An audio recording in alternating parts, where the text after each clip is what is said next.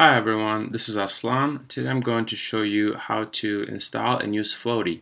Floaty is a uh, free to use extension for your uh, Swift app that you're making and uh, what, what it basically is is a button like as you can see in the animation and it has more pop-up buttons that you can use and it's uh, pretty cool, pretty sweet looking and uh, it'll add some extra pizzazz to your app. So um, let's go ahead and get started.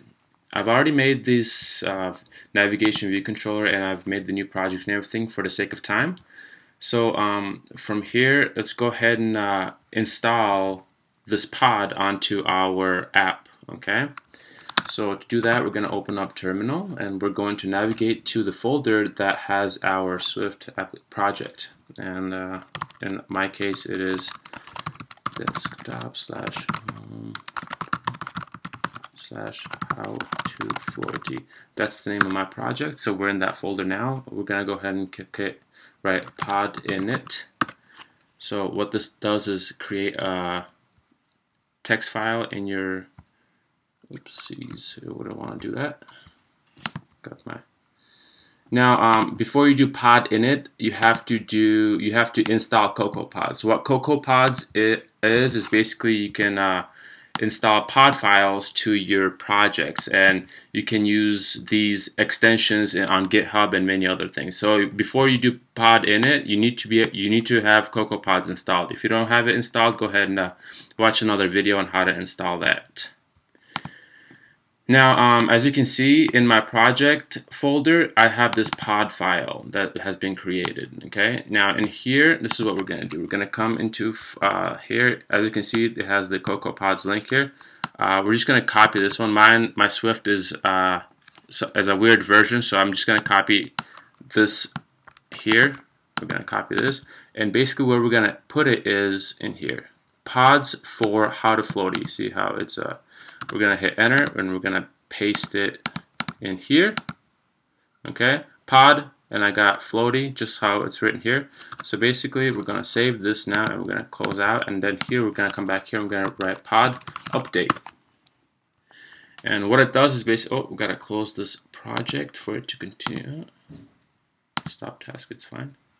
So we're updating the pod. I'm going to wait a couple seconds.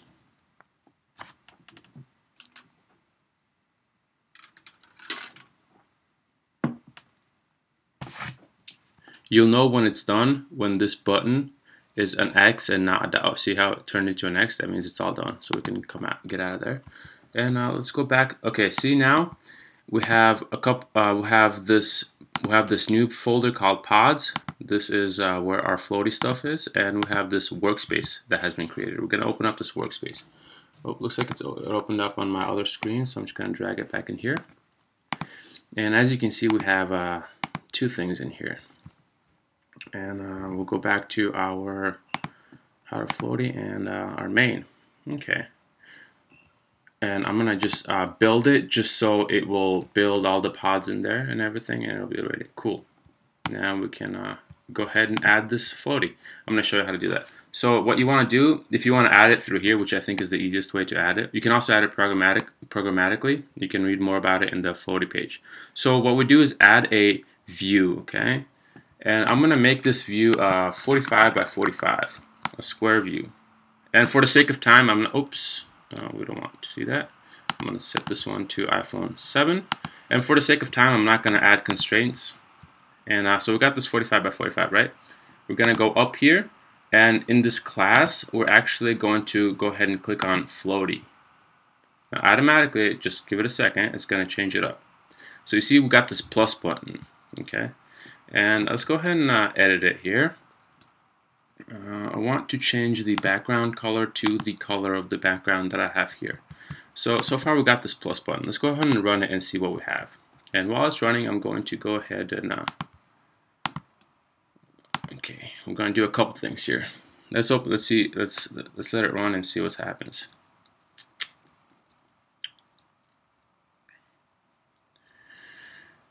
And uh, what we get here, simulator, okay, let's, let's see what, here we go, see, we got that floaty button here. Now, when we press it, nothing happens. We want things to happen. So this is what we're going to do. I'm going to go ahead and connect my view controller to the uh, uh, the view controller that I have here. So now this screen is connected to this view controller and I can edit this file and it'll change things on my screen. So we have two things here. Now this is the view controller that's connected to this screen. Now in this view controller we're going to go ahead and import floaty. Okay. Okay, there we go. Now in here we're also going to control click and drag this guy in here and we'll call this guy floaty okay now this is the name of this button here now we're going to go to uh, view, load and we're going to add some things that floaty can do okay so as you can see in uh, you can find a, a ton of information here but it has all the basics and everything like how, how to add uh, functions and whatnot but I'll show you the basics here so to to add more buttons, when you click the blue button, this is what we're going to do. We're going to click do floaty dot add item, and in here we're going to set it to title, and let's call this one button one. Okay. Also, you can write comma and you can write um, image, so you can an icon, so it will have an icon or what if you want to add an icon. Let's say we have button one here. Let's add another button. We'll do add item and we'll write button 2 add item button uh oh looks like we got icons here we'll ch I'll change that in a sec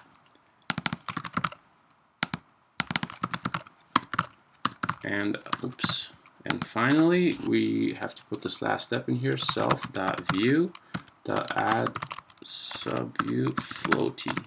Okay, cool beans. Now let's go ahead and play and uh, load and see what happens.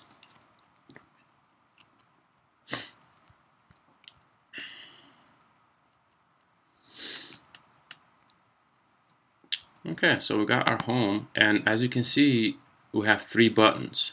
You see how these guys are white and empty? you can add the icons in here and if you have like a custom icon that you would like to add you can go ahead and do that. Also I believe this uh, the pod file comes with uh, a few other icons that you can use. Okay. Now let's I want so as you can see when I when I click on this nothing happens okay? Now I want it so when I click on that button something happens. Well let's see. Let's say we have a label in our home view and this label. We'll go ahead and connect this label over here. And we'll just call it label. Now, I, when I click on button 1, I want the label to change to something, okay? So to do that, this is what we're going to do. We're going to write comma handler, okay? And we're going to do that, and we're going to make two, oops, erase the other one. We're going to do open and closed curly braces, okay? We're going to do this in, and then we're going to write code in here. Whatever, whatever we press this button, this code will run, okay?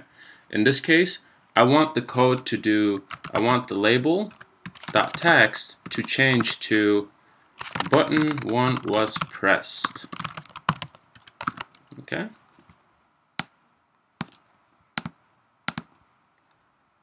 Okay, let's go ahead and do that. And then um, for two, button two, I want it to do, so I'm going to go ahead and copy this handler, okay? But instead of uh, doing this, I want it to do something else. Oops, forgot a comma in here. Cool. When I press button 2, I actually want it to go to a different view controller, you know? So I'm going to make another view controller here. And I'm going to connect this view controller to this view controller. And I'm going to set the background to this view controller so we can uh, see, we can identify it. And I'm going to call this guy, oops, not that, view, uh, second view, okay? Now let's go ahead and uh, add, actually we do, uh, we need to, actually we don't, we don't need to do that. So you see how we have this segue here, this, this arrow? that goes from home to second view. I'm going to add a segue here. I'm to name it home to second. Okay, we're going to copy that and I'm going to come back to this button. And here we are. So now when I click on button two, I want it to go to second view. Okay, that's what I want. So this is the this is the code that we're gonna write in here. We're gonna write self dot perform segue, and in here I want with identifier. Um, here we go that's this is our identifier home to second view, and the send uh, sender is self. And when I click on button three, I don't want anything to happen. Okay, so let's go uh, let's go ahead and uh, run and see what happens. And here we go. And when we press this button, when I click on, well, looks like I forgot to make it bigger, but as you can see, the label did change. And when I click on button 2, it went on to the second view. Alrighty, and when I click on button 3, nothing happens. Okay.